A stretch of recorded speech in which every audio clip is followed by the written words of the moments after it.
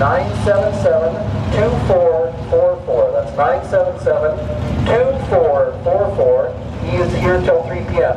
If you do need that number, please feel free to call the tower. We can give it to you then.